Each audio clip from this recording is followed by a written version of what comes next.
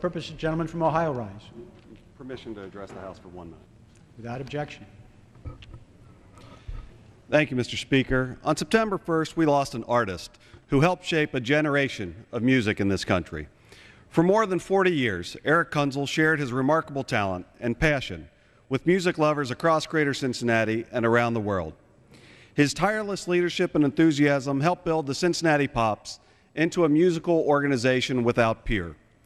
Their many recordings over the years brought classical and contemporary masterpieces into the homes of countless Americans.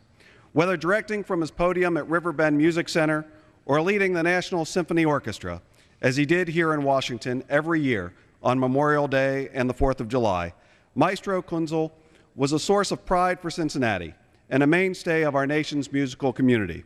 He will be dearly missed by all of us whose lives were enriched by his boundless creativity. I yield back the balance of my time. Gentleman yields back. For what purpose the gentleman from Vermont rise?